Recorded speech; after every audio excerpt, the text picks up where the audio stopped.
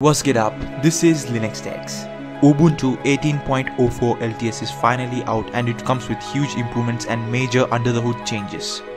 So in today's video, I'll be showing you how to install the all new Ubuntu 18.04 step by step. Let's dive right in.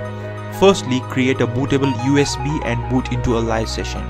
If you need help creating a bootable USB, check out the tutorial links given in the description of this video. Once you have booted into a live session, click on the Install Ubuntu option. You will be provided with the language selection option. Select English and click on Continue.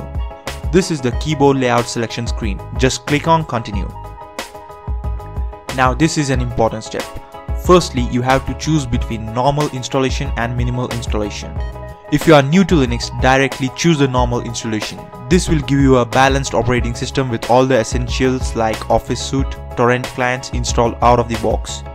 If you have a previous experience with Linux and want to customize your operating system by installing all the software you need by yourself, then you can select the minimal installation. This will install an OS with bare minimals like the browser and some essentials. If you still have any doubts regarding this, then just select the normal installation option. Uncheck the download updates while installing Ubuntu option as I don't want any complications like network issues during the installation. Check the install third-party software as it improves the overall performance and experience of the OS. Click on continue.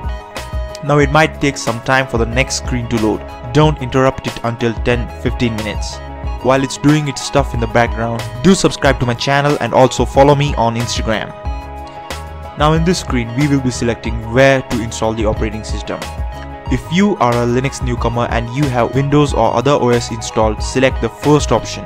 No issues, just select the first option that is install Ubuntu alongside and click on continue.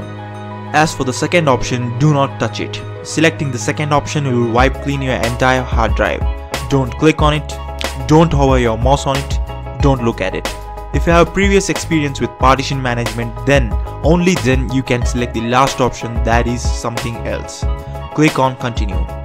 For those of you who selected the last option, here you select the partition you want to use and click on change.